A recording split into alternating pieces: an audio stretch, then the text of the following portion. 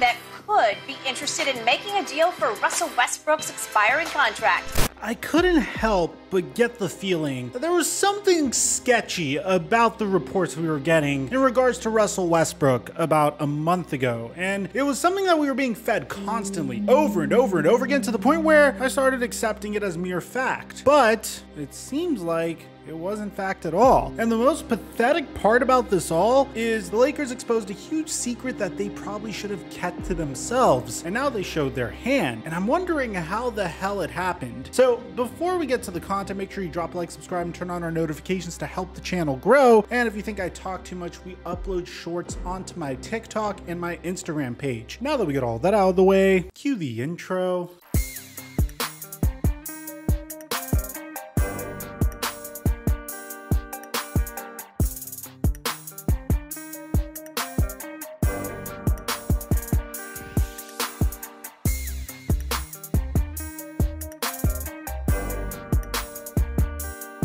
Mic check one two one two. What's going on, everybody? If you remember, one month ago, Magic Johnson said something to us that drove us a little crazy as Laker fans. And this is nothing against Russell Westbrook, by the way, because I will always open up by saying that I'm a huge supporter of Russell Westbrook. I hope he finds success. I just didn't think that that success was going to be with this Los Angeles Lakers team with LeBron James and Anthony Davis, at least not for $47 million a year annually. And I don't necessarily think this is a hot take at all whatsoever. As a matter of fact, I think a lot of us agree that the trio of Anthony Davis, LeBron James, and Russell Westbrook just didn't work, even though they had limited time together. Even when they did share the court with one another, it just looked awkward and clunky, and the paint was clogged in, and they weren't playing their best basketball. Anthony Davis had a horrific year when he was healthy. Russell Westbrook had a below average year for himself. LeBron James, well, LeBron James kind of went into full on stat padding mode once he figured out that the season was lost. And that's with respect to LeBron James. What he did this past year was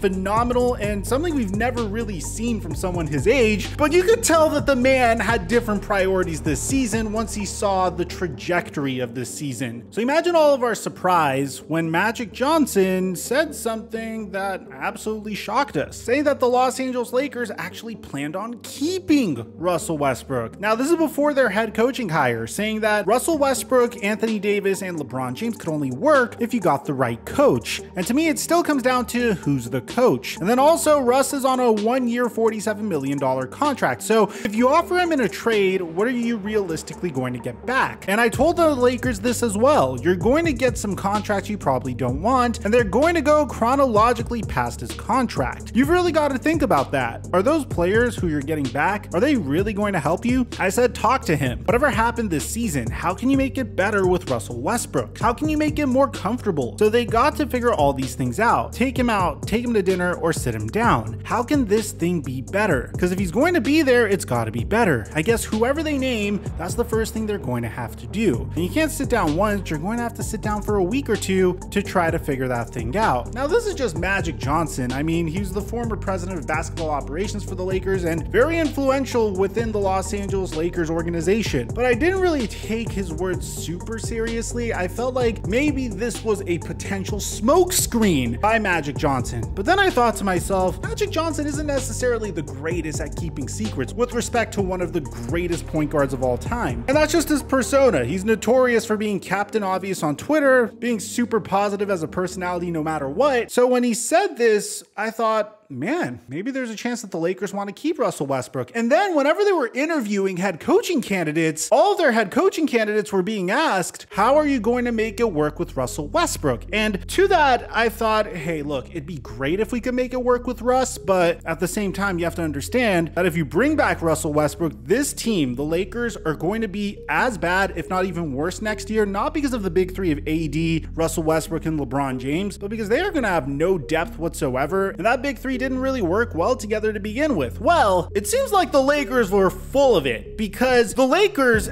actually tried to trade Russell Westbrook to the Indiana Pacers. Now, this is coming to us from ESPN, and you have to bear in mind that there's a lot of teams that are still interested in Russ. I mean, according to Kevin O'Connor, the Charlotte Hornets are still very interested in Russell Westbrook. Just imagine a backcourt of LaMelo Ball and Russell Westbrook, but here's what we have have. Apparently, the Los Angeles Lakers offered Russell Westbrook and all reliable, you know, all reliable, Talen Horton Tucker, and a future first round pick to the Indiana Pacers for Malcolm Brogdon. And here's the crazy part this is coming from ESPN's Jonathan Givony. Apparently, the offer was reportedly rejected. Now, this actually blows my mind because this trade is an absolute dream scenario for the Los Angeles Lakers. Yes, you offload the salary of Russell Westbrook, which is $47.7 million, and you better bet that he is definitely going to opt into that contract, by the way. There's no way he turns down $47.7 million.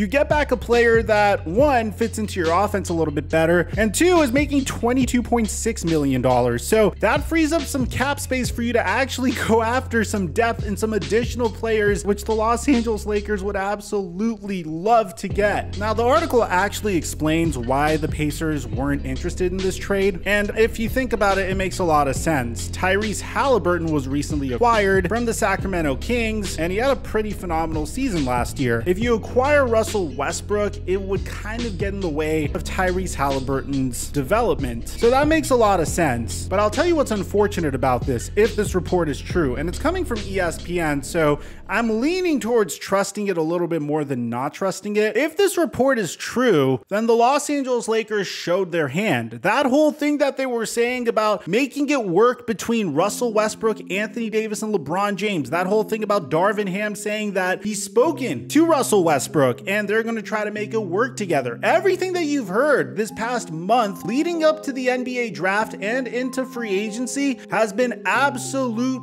BS, according to what this report says. And now everyone knows that the Los Angeles Lakers are going to try to trade Russell Westbrook. So this is why it's such an unfortunate scenario for the Lakers. They showed their hand once again. It kind of reminds me of when the Los Angeles Lakers were trying to trade for Anthony Davis in the middle of the trade deadline a few years ago. And when the trade fell through, it was absolutely embarrassing. I mean, Brandon Ingram, Kyle Kuzma, Josh Hart, and all of the players that were initially involved in that trade had to go back to playing with LeBron James in the Los Angeles Lakers. And they were ridiculed mercilessly. Even in some cases, you heard fans chanting that LeBron's going to trade you whenever some of these players would shoot free throws. And that's the unfortunate part about all this. The smokescreen is effectively gone. So I don't know, in two days from now is going to be the anniversary of when the Los Angeles Lakers traded for Russell Westbrook. Not the exact date, but he was acquired on on draft day. Maybe on draft day, we'll see something happening with the Lakers and Westbrook. That would be the day that I would anticipate a big move happening. But it's not like the Los Angeles Lakers have a first round pick this year because that's actually going to the New Orleans Pelicans, and that's actually the eighth overall pick in this year's NBA draft. So let me know in the comment section down below if you're a Laker fan or just a fan of basketball in general. What do you guys think about all this? I think personally, it just reflects poorly on the Los Angeles Lakers for not being able to keep this to themselves and letting it get get out to the public. But aside from that,